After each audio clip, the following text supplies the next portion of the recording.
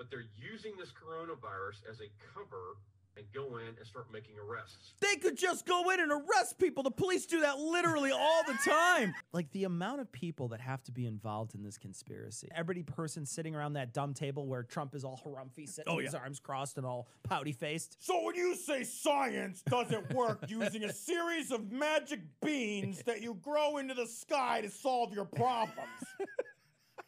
It's like it's like we hired fucking like Orange Chris Farley to be president. Eh, The scientist says something. He says, "Remember that one time you said science? That was pretty cool." Oh,